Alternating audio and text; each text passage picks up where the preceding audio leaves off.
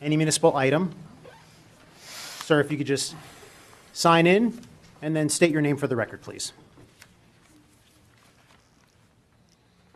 My name is Bob Williams. I am a Monroeville resident. And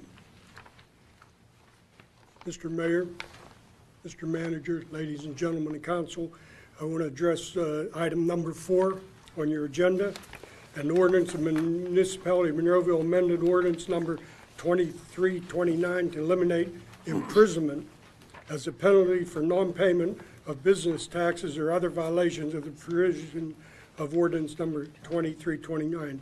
My question is, why would we want to take the teeth out of the law?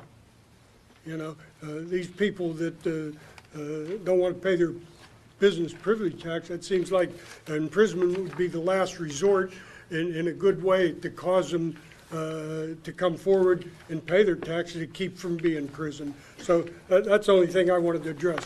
Thank you. Thank you, Mr. Williams.